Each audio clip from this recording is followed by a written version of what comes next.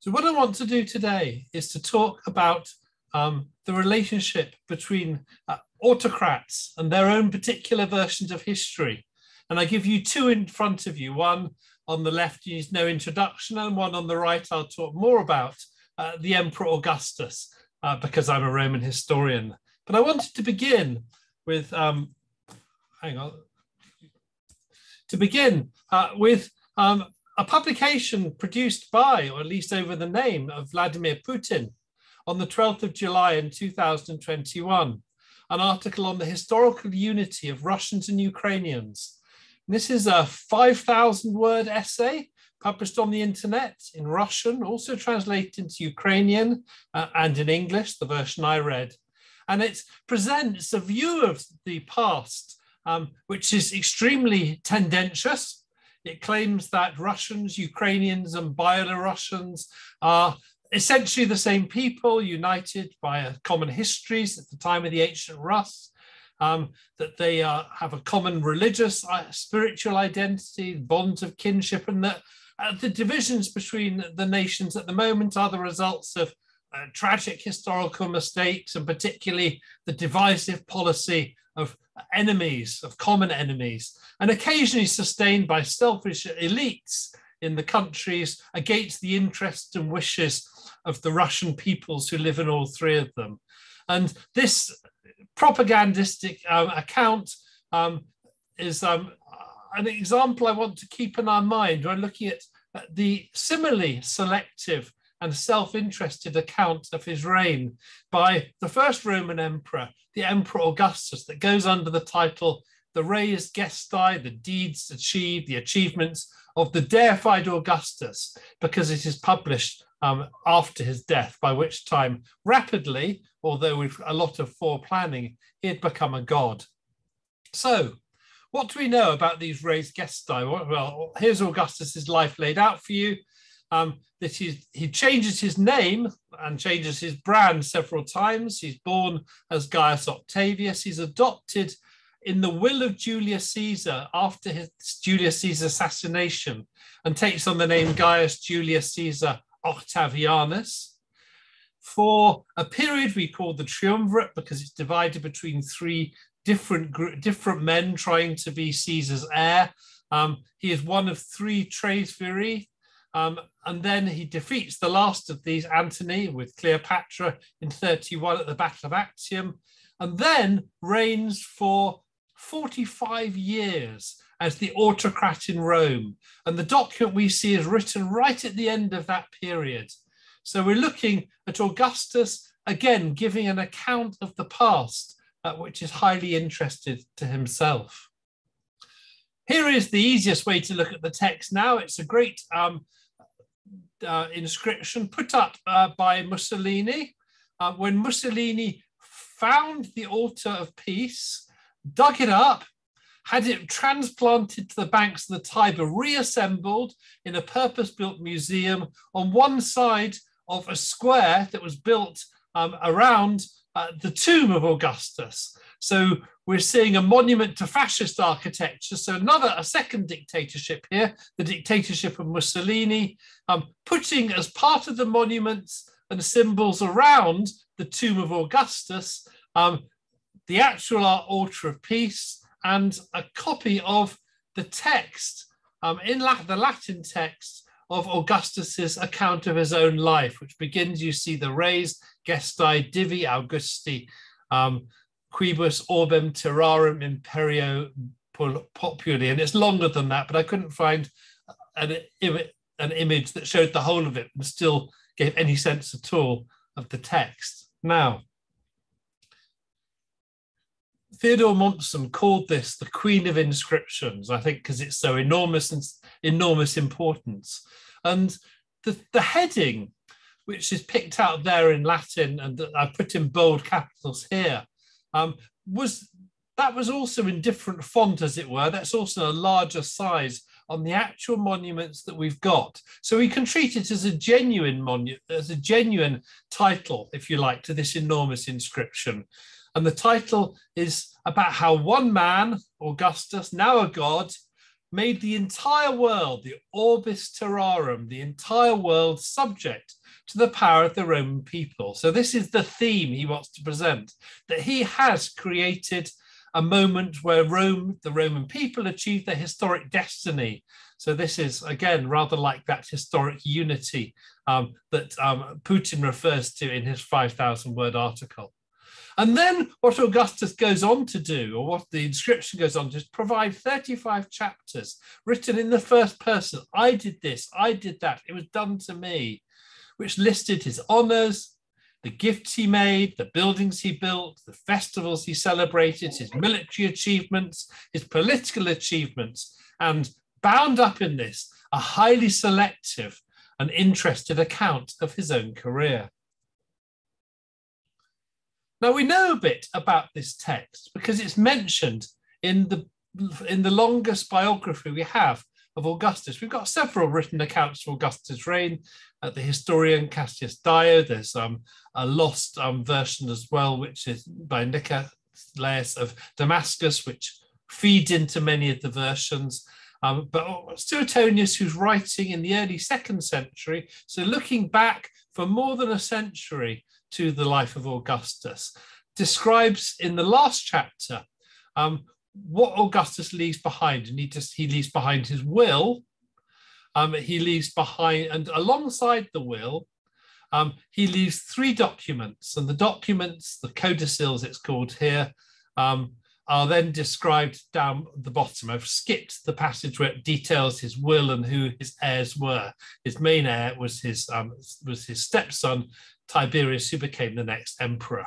So here, the will originally on two, two skins of parchment, put in the custody of important priestesses, the Vestal Virgins, read out to the Senate. It's a highly public statement. And then what are the three appendices? What are the three codices to the will? One of them is orders for his funeral. So he has planned his funeral, including presumably the moment at which a cage is on top of the funeral pyre, is broken open, and an eagle, presumably terrified by the flames, zooms up to heaven and is declared to be carrying the soul of the emperor to the gods. And then there's also the bottom, the last one is an account of, of who's in the empire, where the monies are, is who the troops are, um, the revenue, and, and with the significant detail that the only people who know the details are Augustus's own slaves and ex-slaves, that he's been running the whole empire for these last 45 years through his personal household. But in the middle, a summary of his acts, which he intended should be inscribed on brazen plates, brass columns, and put in front of his mausoleum. So what we read here is a deliberate account which he has already decided how will be displayed. It will be displayed beside his tomb, his mausoleum, in the center of Rome. So we're seeing a letter in a bottle. This is how he wants to be remembered. What we have is not those bronze tablets, but we have copies of the text that was on them, including a Greek version. And the longest one comes from the Temple of Roman Augustus in the Roman city of Ancyra, modern Ankara, in the center of Turkey. But we have fragments of others. So we know that this document was inscribed in other cities too, including Pisidian Antioch and Apollonia, or both of them in the same province of Galatia. And perhaps there are bronze versions elsewhere, which were melted down. It's the stone ones, of course, which survive. And you can see, I hope, the scale of it. This is an enormous inscription. And in the temple of Rome to Augustus, it's you see it on either side as you go in through the entrance. Half of it, chapters 1 to 13 on one side, and the other half on the other. And most people think that it is, that this division in the two halves reflects the division onto the two brass columns that were set up outside the mausoleum, according to the terms of Augustus's will. And here is the heading from um, Ankara, and I've taken this uh, from the work of Alison Cooley, and much of this depends on her important work. Um, and you can see there again, picked out in large, large font, as it were, at the top, um, the introduction that I mentioned, but it adds to it.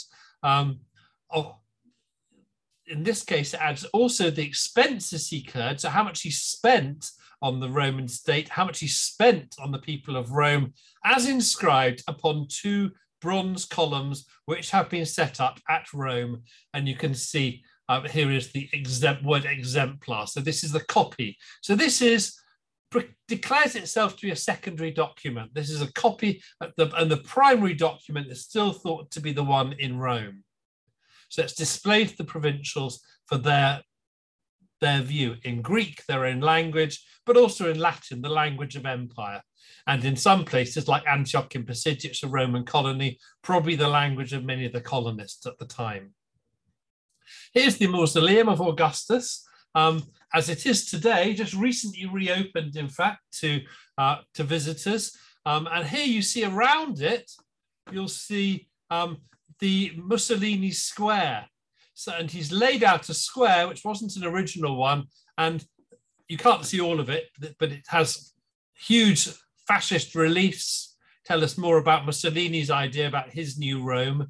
Um, but also here is the the box, if you like, which had has the into which the altar peace was moved by Mussolini, and here is the Ara Pacis. So uh, here is the inscription. So, this, so the text of the of the Res Gestae is reunited with the monument. And originally outside the monument, probably here, were the two bronze columns, long disappeared, of course. And inside the monument, uh, the tomb of Augustus. And this is a reconstruction of how it may have looked. It was, we know it was set in a, in a huge park on the campus Martius, what's now the Centro Storico, the city of Rome.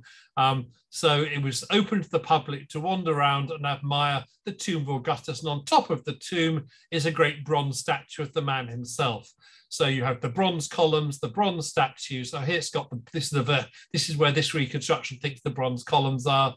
Um, the bronze statue, and then a column with a, with a dome sitting on top with a huge base. And you see the base here, and that would have been the basis for the other stuff. And um, we have one eyewitness account, and this is the eyewitness account from uh, a Greek from Asia Minor, Strabo, um, and he just and he's he visited Rome, so he and he gives, if you like, a non-Roman view of this, and he describes how um, how beautiful the campus Martius is, and this comes as part of it. He says, most noteworthy, the mausoleum, a great mound near the river, a lofty foundation of white marble covered in, in conifers, and on top the bronze image of Augustus Caesar. Beneath the mound is his own tomb and the tomb of his friends and his relatives. And then the great sacred precinct with wonderful promenades. And, uh, and then there's also nearby is a wall around the spot at which his, his cremation took place, where that funeral, for which he provided instructions along with his will, was performed. So you see a permanent monument to a temporary performance, Augustus becoming a god, and all the evidence laid out there for the people of Rome to see and around the wall, black poplars to, to do with the sign of the dead. And this is the culmination of Strabo's account of how spectacular and beautiful Rome is in Augustus's day, or rather in the time of, of Tiberius immediately afterwards when Strabo visited. Now, in terms of the context, we're seeing a propaganda version of Augustus, but we're seeing the last version of many versions of Augustus, because in the length of time from the death of from Caesar's murder to the death of Augustus, so we're looking at a span of um, yeah, nearly 60 years. Augustus Octavian had to change his image many times. Uh, to begin with, uh, trying to present himself as more Caesarian than anybody else later trying to represent himself as not quite as vicious as his acts had showed himself in the triumviral period.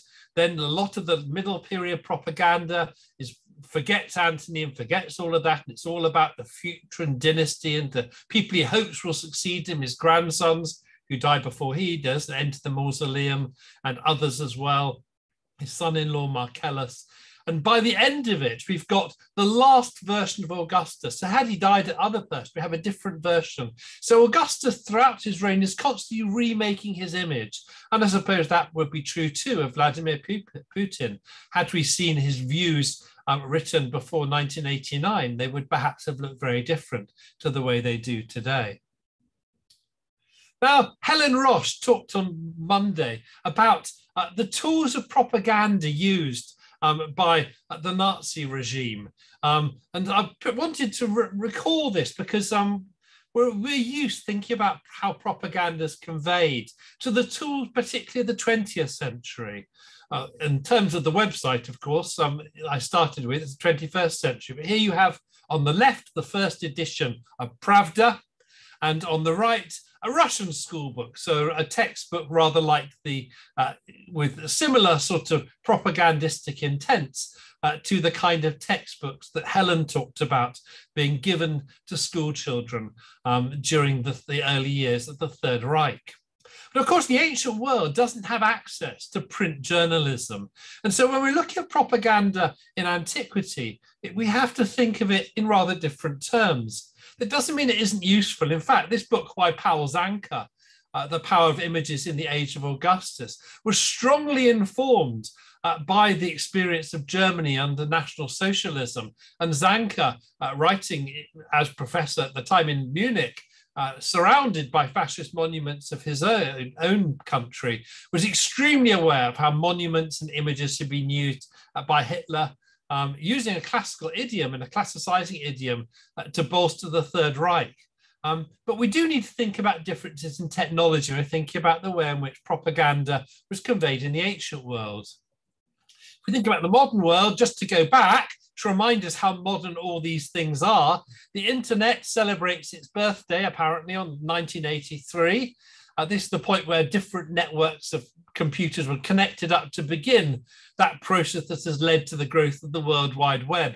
Though, as a lecturer in Oxford, I don't think I was actually able to get got the internet to my office until about 1996, which tells you some, something about the slowness of the growth of the world internet, but also something about the extent to which Oxford in the time embraced um, electronic communications.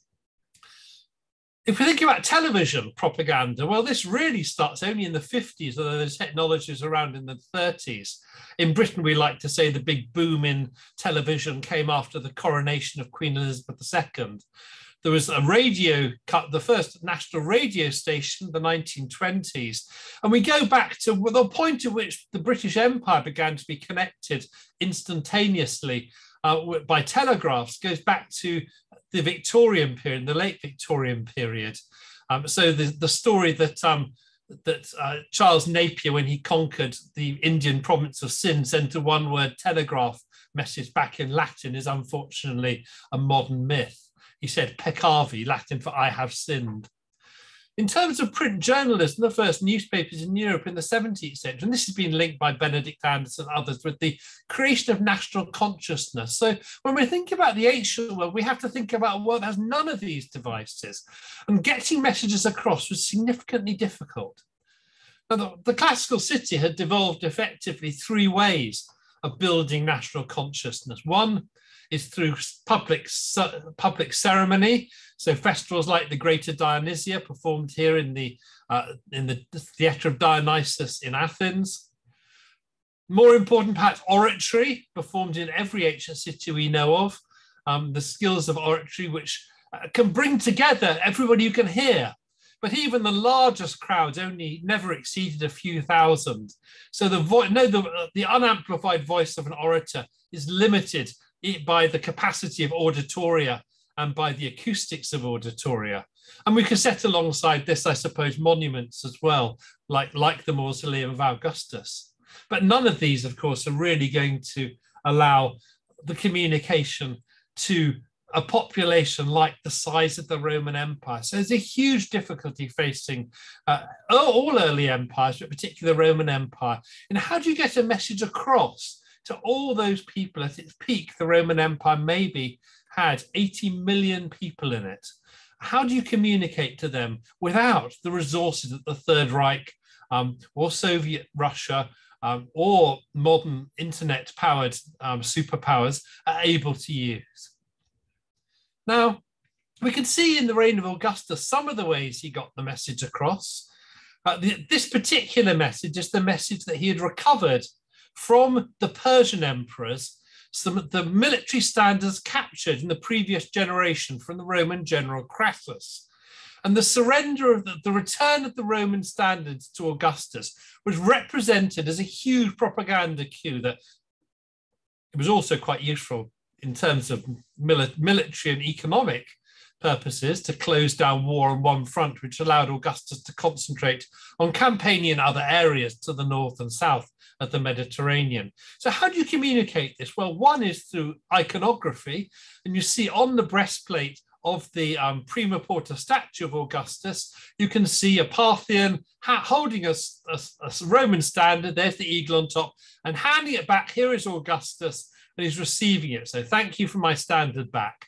Um, but the power of this to communicate to people is limited to the number of people who get close to an image of the Prima Porta Augustus. Um, the original or any copies of it that existed. So it's really limited to dozens of people, maybe hundreds.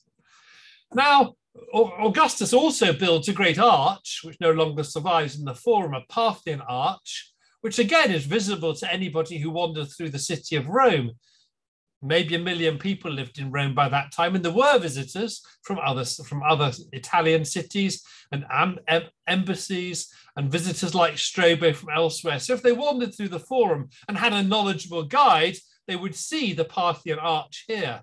Um, and here you see Augustus. Uh, you see the riding a four-horse chariot for victory, and there you see um, palms of victory being held out by um, uh, by goddesses of victory, perhaps holding out the standards as well. It's not quite clear. And if you could read Latin and knew the uh, knew the standard abbreviation, knew that tripot means tribunicia potestas, you could get some sense of the coin, which would also circulate a bit more widely. But these are huge limitations. How do you get a message beyond the Roman citizens, people in the city of Rome, people who might end up with a coin? But of course, if a coin like this ends up in a distant province or in the hands of somebody whose native language is Syriac um, or Aramaic um, or Greek or Egyptian. What will they make of this? Will they see anything other than a picture of an arch with a chariot on it and perhaps a familiar face and then some writing and abbreviation they don't understand? So, one of the problems that Augustus faces how to get a message out, how to, how to manage this propaganda beyond the crowd you can hear a speech, beyond the population you can visit a monumentalized city, and beyond those you can understand even really simple messages here, like this on account of having saved citizens. And then for Romans who know about Roman imagery, uh, the crown of oak leaves that is given traditionally as a, as a sign of honor to somebody who has saved the life of a Roman citizen. Here, his name, Augustus, and his face. Now, the, the Res Gestae is part of an experiment, and I'm going to argue a failed experiment at mass communication. It's one of a series of documents issued in the early years of the Emperor Tiberius, um, which are not only produced at great length, but there are also copies of them appear in the provinces. And we have several others, which I won't be able to talk about in detail, but one, two of them in particular from AD 90, just five years after the death of Augustus, are generated around the, the death of the imperial prince Germanicus. Firstly, a set of honors for him, and we have fra fragments of this inscription copied out in, from documents in Spain and in Italy, various cities put up copies of the honors voted by the Senate to Germanicus after his death, arches, statues, uh, commemorating Syria where he died and in other ends of the empire and the city of Rome as well and then also a long and fairly recent decree, recently discovered decree of the Senate after the conviction of the governor of Syria, Piso, for killing Germanicus. And we have a huge verse of this text from Spain, but news fragments have popped up from the Roman province of Germany, from Geneva, and maybe they did extend more widely. And we think they did because if you look at this inscription on the death of, of Piso, we'll see the fight near the near the end of it. The Senate votes alongside all the honors to the various people who've come on board and signed up alongside Tiberius Caesar and his mother Livia, the, the Augusta.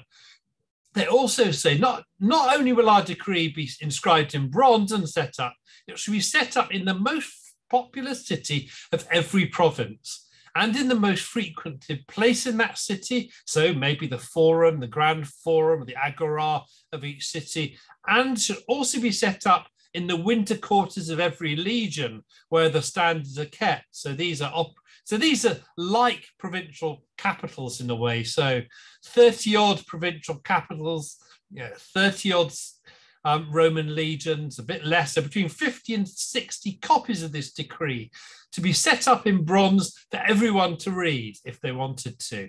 And the Senate, so this is a sign of this attempt. Like with the dissemination of the res gestae, which we don't know that Augustus himself wanted circulated internationally, an attempt to get the message across to the provincials, like Putin's message on the bulletin board, an attempt to get his version of the history of the Russian people since the ancient Rus available to everybody who might possibly read it. Well, could they read it? Most people who work on ancient literacy think it's unlikely that more than maybe 5 10% could read complicated documents there were maybe many more could probably read short notes or in or um, in or the stamps pressed on amphorae, um, or perhaps even things on coins. Here we have a wall painting from Pompeii, which is thought to show um, people reading a notice that has been put up in front of three statues. So perhaps people in Pompeii did come up and read a temporary notice put up. We know that temporary notices were put up on white boards or tituli picti. And here you have um, a detail of the Greek version of the text from, uh, from Ankara of the Res Gestae. And you can form your own judgment about how easy it would be to read. The, the Greek cities, the East, do have quite a tradition of some very long inscriptions. And you can see it spaced out in such a way that maybe you could read it.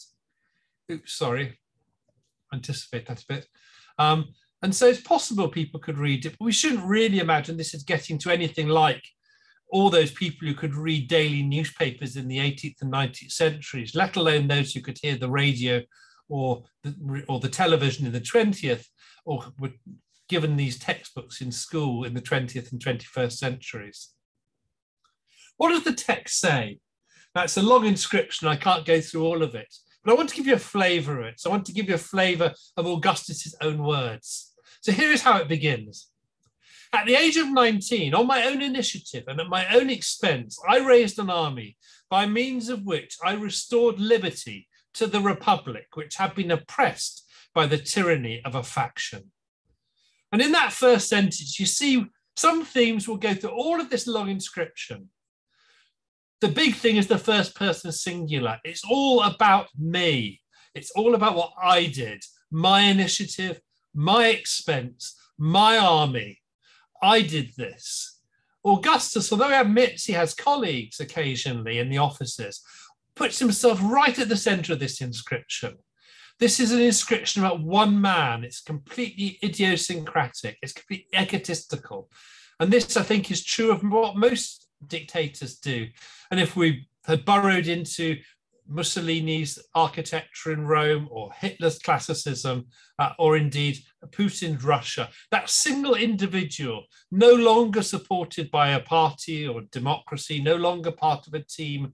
This is the absolute fingerprint of autocracy in every age.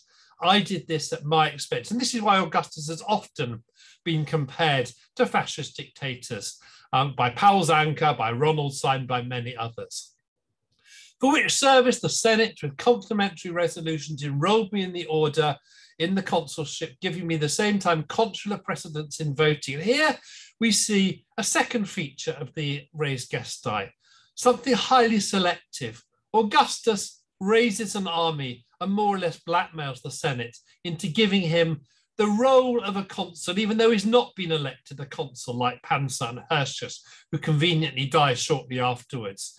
Um, and although the Senate in theory gives him orders, in practice, the orders are ones that he commanded the Senate to give him. So here we see Augustus claiming the legitimate support of, of the traditional political bodies, um, but in ways uh, that we know and later historians of Rome recorded, Roman historians recorded, uh, was a sham. So a highly selective version of events.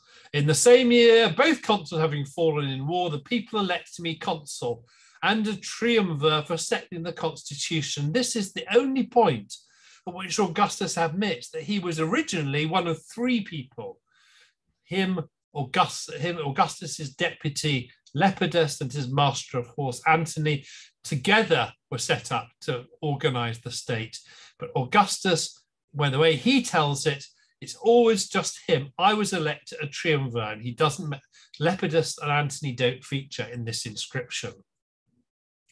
Those who slew my father, I drove into exile. I punished their deed by due process of law.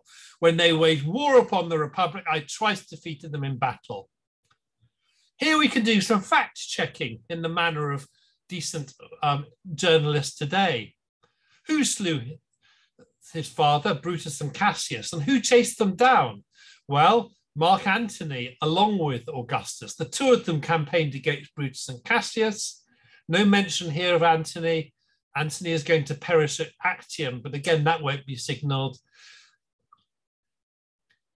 After, through due process of law, well, there's not due process of law is whatever law you pass. One of the laws that the that Antony and Octavian and Lepidus passed was a law that allowed them to list people who could be killed with impunity and their property confiscated by the state. This included some of their own relatives and also Cicero.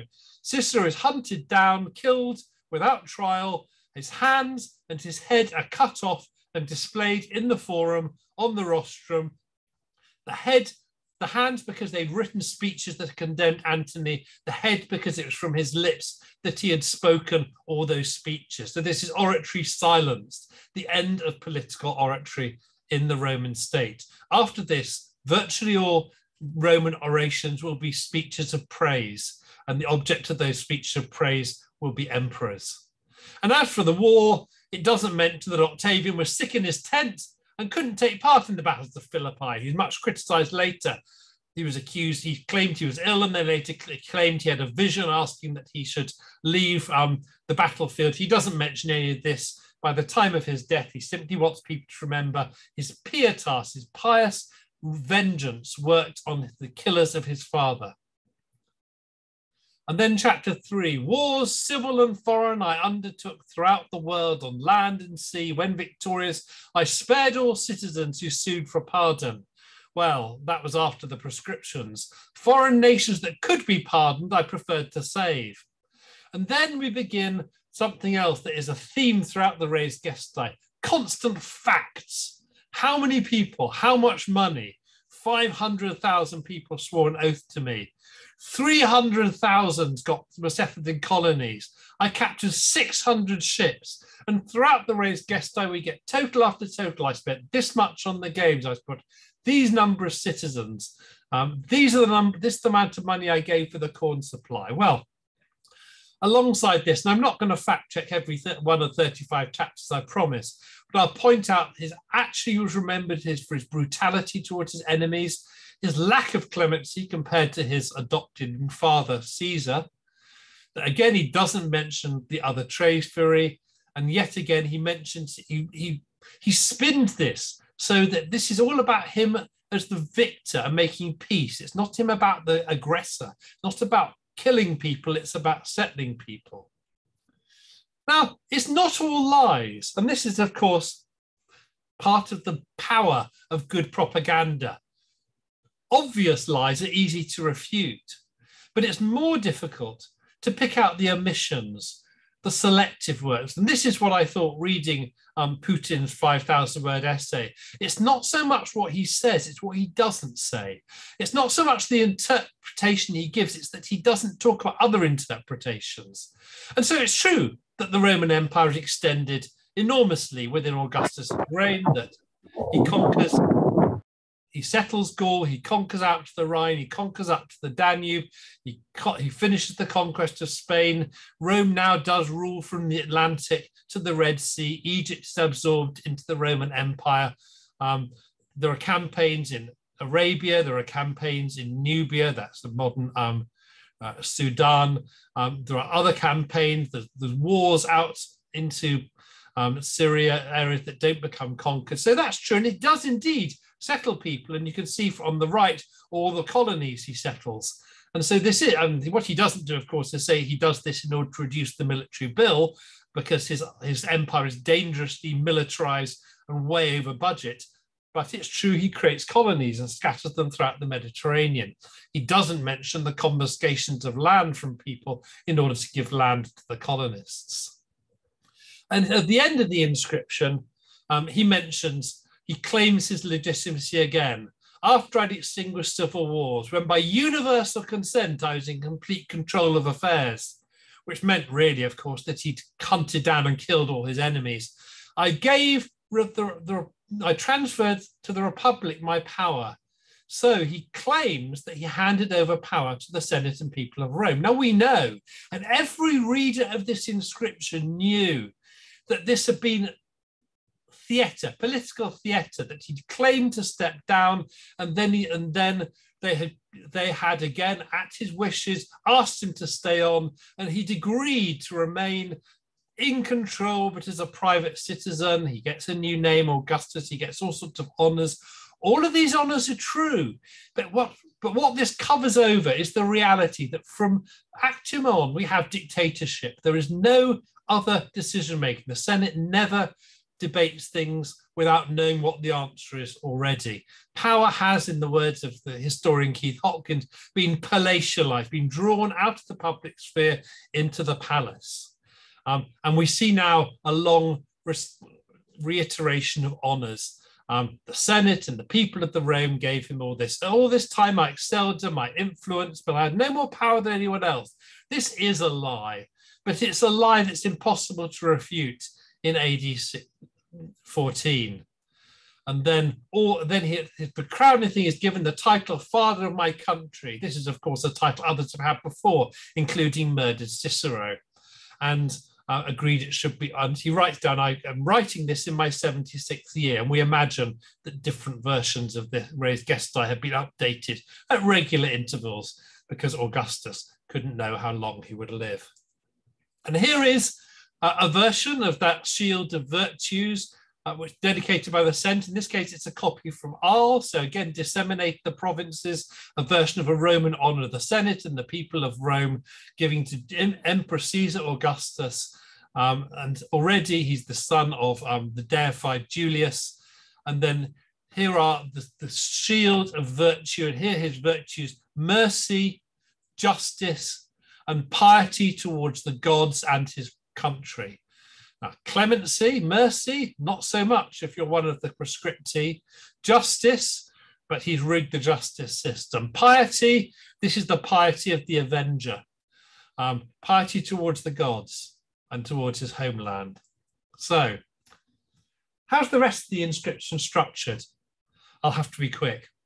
Um, he gave we go through, first of all, his power, his military success, then his honors, uh, then his role restoring the state. And this takes us up to the moment where he closes the door to the Temple of Janus and declares war is over. The Augustus in the second half of his reign is all about peace at home and war abroad. His honors, his building projects, games, again, usually all of the you know, vast amounts detailed of how much he spent how much on tribes. Then the wars of conquest, uh, embassies coming from distant parts from India, the Parthians, and then the closing words, which I've already given you.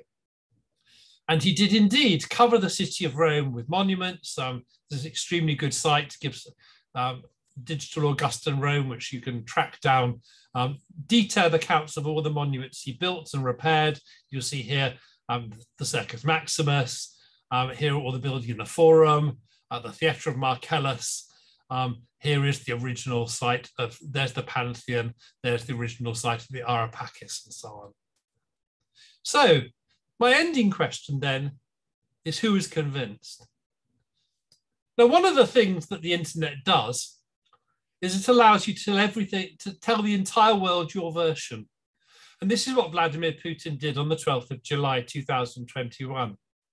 But one of the other things the internet does, it allows people to talk back quickly.